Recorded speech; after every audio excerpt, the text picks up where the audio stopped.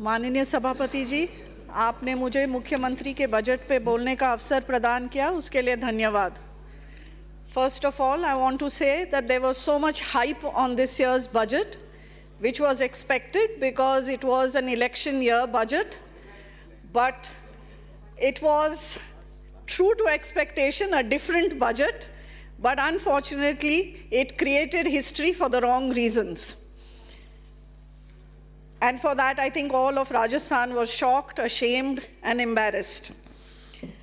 आगे मैं समय आप मेरा नहीं देंगे पूरा इसलिए मैं अपनी क्षेत्र की बातें पे सीधे जाती हूँ आपने पेज 78 पे अमृत योजना के तहत पेयजल की बात रखी है अभी थोड़े दिन पहले माननीय मंत्री जी ने भी बताया कि आ, कोटा में पेयजल की व्यवस्था को सुधारने के लिए कोटा में आ, निगम नॉर्थ में 175 करोड़ एवं दक्षिण में 220 करोड़ की लागत पे वो डीपीआर बनाएँगे।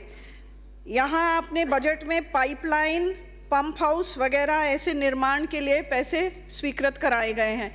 मेरी मांग है कि लाटपुरा में एक फ़िल्टर प्लांट पेयजल की ज़रूरत है। आप इसको प्लीज़ जब आप रिप्लाई करें इस मांग को भी पूरा करें क्योंकि बहुत दुर्भाग्यपूर्ण है कि हम कोटा जो चंबल के किनारे हैं और वहाँ भी हमारे क्षेत्र विधानसभा क्षेत्र लाटपुरा में हर साल पानी की त्राही त्राही मचती है और भयंकर किल्लत है। भले ही मैं सोगरिया की बात करूँ, कोटड़ी गोवर्धनपुरा की बात करूँ, रामचंद्रपुरा की करूँ या नए आवासीय कॉलोनी की बात करूँ या मल्टी स्टोरी की बात करूँ, हर जगह पानी की समस्या है। मेरा आपसे निवेदन है कि इस बजट में जो आपने घोषणा करी है अमृत योजना टू के लिए, उसमें आप लाडपुरा का भी विशेष ध्यान रखेंगे। पानी के संबंध में ही सिंचाई की अगर मैं बात करूँ तो जो हम, मेरा मंडाना क्षेत्र है, जो डार्क जोन में आता है, इस क्षेत्र की बरसों पुरानी जो मांग है कि भाई नहरी तंत्र विकसित करने की जो मांग है, उसको आपने बिल्कुल नज़रअंदाज करा है और यहाँ के जो कृषि कार्य करने वाले जो लोग हैं, उनको चंबल के अलावा उनके पास कोई और पानी का सोत्र नहीं है। इसलिए मैं आपसे मांग करती हूँ कि आप इनकी मांग का भी ध्यान रखें और कोई नहरी तंत्र आप इसकी योजना बनाएँ। जैसे हमारी सरकार ने एक डीपीआर तैयार करी थी परंतु आपने चार साल से इनको बिल्कुल नज़रअंदाज करा है। मैं मांग रखती हूँ कि इस डार्क जोन के लिए भी सिंचाई के लिए कोई व्यवस्था की जाए। आगे मैं चलूँ तो आपने पेज 53 जो पैरा 93 में आपने सड़क एवं पुलिया की जो बात रखी है क्षतिग्रस्त सड़कों एवं पुल निर्माण के लिए। दो साल पहले से बाढ़ में कई पुलिया हमारे क्षेत्र में जो टूट गई हैं उनके लिए आज तक कोई कार्य नहीं किया गया है।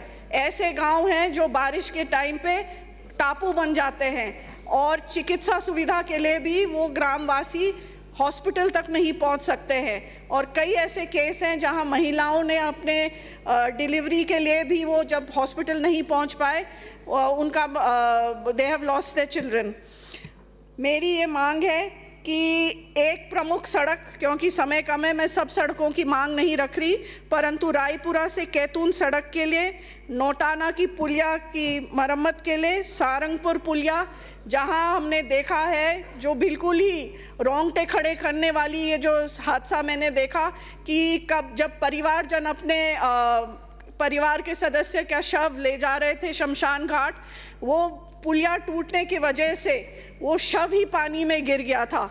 ये बहुत ही दयनीय स्थिति थी। इसलिए मैं मांग रखती हूँ कि नोटाना नोटाना की पुलिया के साथ, सारंगपुर की पुलिया एवं मवासा की दो पुलिया का भी आप इस बजट में स्वीकृति दें। इसी के आगे अगर चिकित्सा की बात करूँ, जो आपने पेज 23 के आगे काफ़ी सारे पेजेस चिकित्सा पे आपने ध्यान दिया है तो जब मैंने मांग रखी थी ताथेड़ में ट्रॉमा हॉस्पिटल के लिए, मुझे बताए गए थे कि ये कई मापदंड आपके पूरे नहीं होते। परंतु जो डिस्ट्रिक्ट हॉस्पिटल की मैंने मांग रखी है बोरखेड़ा में, वो सब मापदंड को पूरे करते हैं। एंड सिर्फ़ एक लाडपुरा विधानसभा के लिए नहीं, केवल पूरे ज़िले के हित के लिए ये जो मांग रखी है, मैं आपसे निवेदन करती हूँ कि इस मांग को भी आप ध्यान में रखें। ऐसे ही जो चिरंजीवी की आपने बात करी है बहुत अच्छी बात है कि आप इसका दायरा बढ़ा रहे हैं। परंतु जो हॉस्पिटल्स का बकाया आज तक जो करोड़ों में है वो नहीं चुका पाए वो आप उसको आगे कैसे चुकाएँगे ये बात भी हमें बताएँ आप। चिकित्सा की बात ही कर रही हूँ तो मेरे सीएचसी कैतून में एक सोनोग्राफी मशीन मैंने अपने विधायक कोष से दी थी परंतु बाढ़ में उस मशीन को इन्होंने प्रशासन की गैर लापरवाही के वजह से वो पानी में डूब गया और वो ख़राब हो गई। अब वो कह रहे हैं कि उनके पास उसको 18 लाख की मशीन थी और अब वो ठीक करने के लिए भी पैसे नहीं है। तो मेरा आपसे निवेदन है कि उपकरण की मरम्मत के लिए और ठीक करने के लिए भी आप इस बजट में कोई प्रावधान रखें ताकि ऐसी महँगी उपकरणों का के पैसों का ऐसा वेस्टेज नहीं हो। आगे, मैं, आपने ये बात रखी है 83 और 84 पेज में ग्रीनिंग एंड रीवाइल्डिंग मिशन की बात।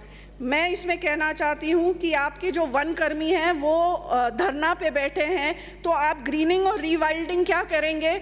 जब कोई वन कर्मी ही नहीं है उनकी सुरक्षा के लिए। ऐसे ही वेटलैंड्स की बात करते हैं आप पेज 84 पे, और उमेदगंज में जो पक्षी विहार के लिए आप अलग से पैसा दे रहे हैं, परंतु साथ ही बिल्कुल वहीं एक आप कचरा का पॉइंट बना रहे हैं ट्रेंचिंग ग्राउंड बना रहे हैं तो वो वेटलैंड कैसे सुरक्षित रहेगा? बगल में राइट विंग कनाल चल रही है जो कम से कम एक लाख बत्तीस हेक्टर कृषि भूमि को सिंचित करती है। वो पानी खराब होगा। कहाँ से ये पक्षी आएँगे? जो बाहर से पक्षी आते हैं पक्षी विहार का भी ध्यान रखना है। शिक्षा बस एक मिनट। शिक्षा की बात करूँ तो पेज नंबर 11 में आपने महाविद्यालय की बात करी थी। मैं मांग करती हूँ कि लाडपुरा में कोई भी महाविद्यालय नहीं है। कम से कम एक कन्या विद्यालय या महाविद्यालय दिया जाए। राजस्थान अंत में डीएमएफ अंत में अंत में डीएमएफटी की बात रख रही हूँ जो आपने पेज 36 में कहा है। मैं आपसे बस ये कंक्लूडिंग पॉइंट है कि जून में ये मीटिंग के दौरान ये तय किया गया था कि ये डीएमएफटी का पैसा कैसे खर्च किया जाएगा और इसकी स्वीकृति दी गई थी। परंतु आज तक एक भी रुपया उस डीएमएफटी का खर्च नहीं हो पाया पाया है। और ऐसी मांगे थी जहाँ एसटी की बच्चियों के छात्रावास के लिए हमने पैसे स्वीकृत करे थे एमबीएस हॉस्पिटल के लिए एमआरआई मशीन के लिए पैसे स्वीकृत करे थे। परंतु आज तक उसमें से एक रुपया भी नहीं खर्च किया गया। इसी सम... गोपाल